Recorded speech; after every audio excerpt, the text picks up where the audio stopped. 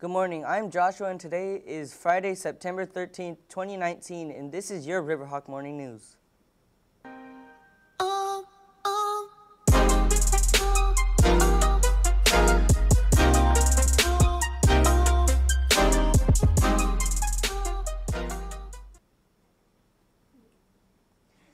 Today's spirit theme is Twin Day. Listen for prizes being offered during lunch if you are twins with someone. Because it is Friday the 13th, we have a special interview with Jason Voorhees, the star franchise of Friday the 13th. Hey, so what is your name and can you say it? Okay, so how does it feel to be part of uh, a movie franchise? Okay, um, so do you uh, do you do your own stunts? Okay, all right. One last question: Are any of the deaths in your movies real? Mmm. Cut the feed. Well, uh, that's extremely disturbing. Is he's okay, right? Yeah.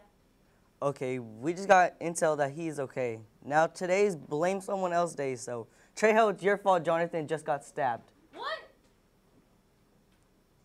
Uh, now Trejo in the club corner. Uh, I personally don't like being blamed for something I didn't do. Do you like gardening or is it just genu- genuinely interested in it?